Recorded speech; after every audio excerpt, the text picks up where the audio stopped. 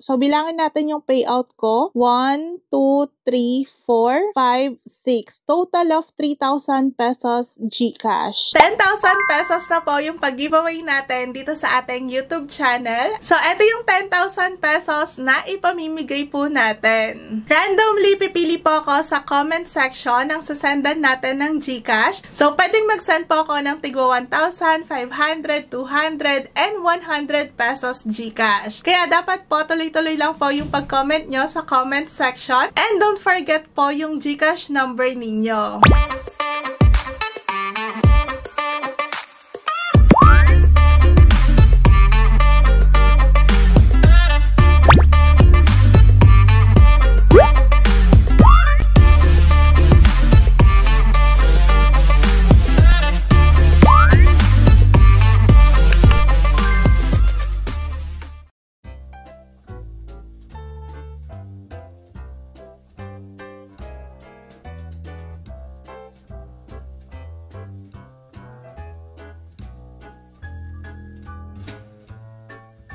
This is the application. Makikita nyo po yung link nito sa video description. Ayan, pagka-open natin itong app, make sure lang po na nakapag-login tayo using Google bago tayo mag-start na maglaro dito para nasa-save po yung progress natin and makapag-payout tayo dito. So, paano ba tayo kikita dito ng free Gcash money? As you can see, meron po tayo dito ang garbage truck at ang gagawin lang po natin is magko-collect tayo dito ng mga waste. So, ayan yung vehicle natin and as of now, hindi pa natin yan mapaandar. Kailangan natin ng gas. Ayan, itap lang po natin itong gas. So, nakapag-gas na tayo and as you can see, automatic na pong umaandar yung truck natin dito. So, wala na tayong ibang gagawin dito kundi hintayin lang natin na maubos yung gas ng truck natin. At kapag ka naubos yan, pwede na tayong bumili ulit ng gas. Ang maganda dito, autoplay na po yung game. So, hindi na tayo mahihirapan pa na mag-operate ng truck natin kasi ayan, automatic na po tayong nakakapag-claim ng waste is auto-drive na po yung truck natin dito. So, hintayin na lang natin na maubos po yung ating gas. Ayan, as you can see, yung mga garbage dito is nako-convert na siya into coins. Meron dito magpa-pop up na note kapag ka naubos na yung gas natin, your vehicle has run out of gas, refuel now to continue driving. So, itap lang natin yung okay. And yung fuel po dito is nagko-cost yan ng 1 gem. So, meron tayo ditong available na 10 gems. Kapag ka nag-fuel po tayo, mababawasan po yung gems natin. So, ibig sabihin, 10 times pa ako na pwedeng mag-refuel. So, itap na natin yung fuel para makapag-gas na tayo. O, ba diba, super easy ng game na to. Wala kang ibang gagawin kundi mag-fuel lang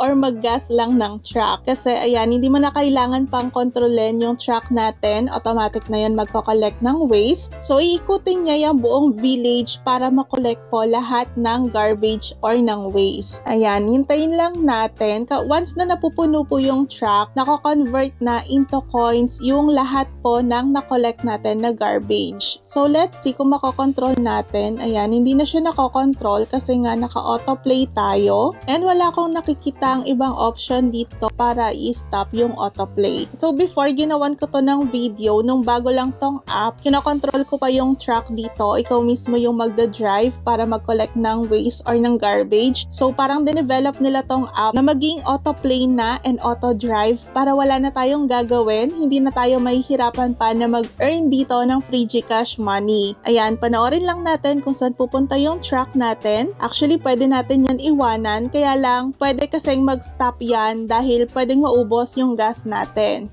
So speaking, ayan, naubos na po yung gas natin. Kailangan na natin mag-refuel ulit. So kapag ka naubos po yung gems natin, itap lang po natin yung plus sign dito sa gems. Ayan, meron pa tayong available na 9 gems. Tap lang natin yan. Para makakuha tayo ng gems, pwede tayo mag-watch or mag-complete ng task. Kapag ka na-complete tayo ng task, for every 100 points, makakonvert yan into 1 gem. So ako, ang ginagawa ko dito is nagwa-watch na lang ako dito ng ad. Tap natin yan. Ayan, naka-receive po tayo ng 1 gem. So yung ad po or itong watch ad is magiging available yan after 30 seconds. So hindi tayo pwedeng manood ng manood ng ads dito. If naubusan na tayo ng ads, we can complete task tap natin yan. Ayan, kapag ka nag-complete tayo ng task dito, pwede tayong mag-playtime, pwede rin tayo magsagot ng surveys, or pwede tayong mag-download ng app and complete the requirements. Since meron na tayong 10 gems, ayan, mag-refuel na tayo ulit para continuous na yung truck natin na mag-collect ng garbage. Ayan, umaandar na ulit yung truck natin. As you can see, auto drive po yan. And kapag ka nakikita nyo nagiging coins na yung ating garbage, ibig sabihin, napupunta na yung coins na yan sa balance natin. So as you can see, natapos na po yung auto drive natin dito. Ayan, meron nang lumabas dito ng controller. So ito yung sinasabi ko sa inyo na before is nako-control pa natin yung truck. Ibig sabihin, limited time lang po yung auto drive dito. Ayan, kapag kinontrol mo yan, so nandyan yung controller and then collect mo lang yung garbage, pwedeng paatras or paabante. Then, kung ayaw nyo naman i-control yung truck, pwede nyo pong i-enable yung auto drive. So, eto yung auto drive. Kaya lang ayokong i-enable ngayon kasi nga 5 gems yung kailangan natin dyan. So, kailangan po talagang makaipon tayo dito ng gems para makapag auto drive tayo. Ayan, naubos na naman yung fuel natin. So, yung gems po is ginagamit para makapag-refuel at makapag-auto drive. So, yan yung auto drive. Sa fuel po, 1 gem yung ating ini-spend. Sa auto drive naman is 5 gems. And kung gusto nyo pong makakuha ng coins instantly, pwede tayo mag-enter ng code dito. Tap lang natin yan. Maglagay tayo dito ng invitation code. Actually, ang laki po ng makukuha natin dyan. Ang makukuha po natin is 10,000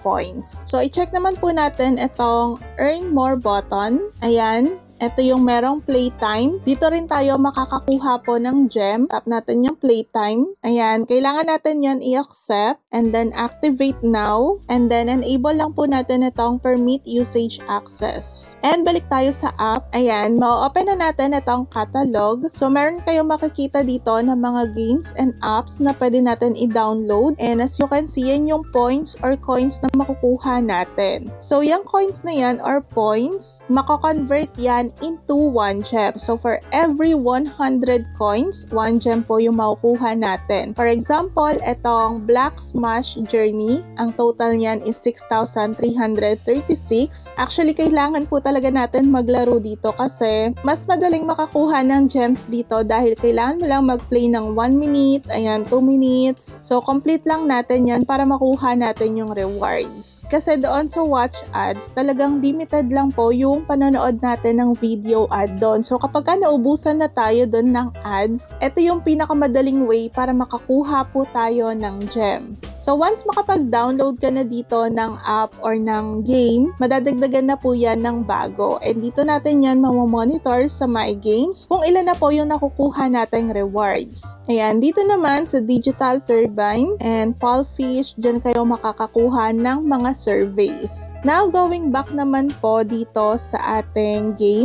Ayan, as you can see, meron na po tayo ditong naipon na coins since ginawan ko nga to ng review last time. Another way dito para maka-earn din tayo ng coins is pwede tayong mag-invite ng friend. Ayan, itap lang po natin itong invite button. Ayan, dito po sa referrals, we can get 2,500 points immediately and additional 5,000 points po when your friend earns their first 5,000 points from completing offers after entering your code. And you will also get 20% commission for every task completed by your friends. So, yun yung rules dito sa referral para makuha natin yung reward. Pero it's a win-win naman dahil yung in-invite natin, mas malaki yung makukuha nila kasi 10,000 points po yung makukuha nila sa atin. Ayan, makakakuha tayo sa kanila at the same time makakakuha din sila sa atin ng points. So, win-win lang talaga. And paano naman tayo makakapag-cash out dito? So, itap natin tong wallet. Ayan, ang payment method dito is GCash, Maya, and PayPal. So, sa GCash, minimum 100 pesos, maximum 500 pesos. Sa Maya naman, minimum 50 pesos, maximum 500 pesos. Actually, dati walang Maya dito, parang GCash and PayPal lang. So, nadagdagan na siya ngayon, nagkaroon na ng Maya. And sa PayPal naman, minimum $2, maximum $25. So, try natin mag-cash out ng 500 pesos GCash. Tap lang po natin yung 500 pesos. Ilagay natin dito yung ating GCash account name and GCash account number. After that, itap lang po natin itong redeem button. So, merong magpa-prompt dito ng confirmation. Confirm lang natin yan. Double check yung name natin at yung GCash number. After that, itap na po natin itong yes. So, ayan. Ganun lang kadaling makapag-cash out dito. We will receive our payment within 3 business days. At alam nyo ba, pwede po tayo mag-cash out dito ng multiple payment. So, itry po ulit natin mag-cash out ng another 500 pesos. Ayan, redeem lang po natin yan ulit. And then, tap yes. So, nakadalawang cash out na tayo. Makikita po natin yan dito sa redemption. Ito na po yung kinash out natin ngayon na dalawang 500 pesos. Reviewing na yan. And makikita nyo po dito lahat po ng cash out ko na tig pa 500 pesos through GCash wallet. So, bilangin natin yung payout ko. 1, 2, 3, 4, 5, 6. Total of 3,000 pesos GCash. So, this is the end of our video. Thank you for watching and see you in our next video.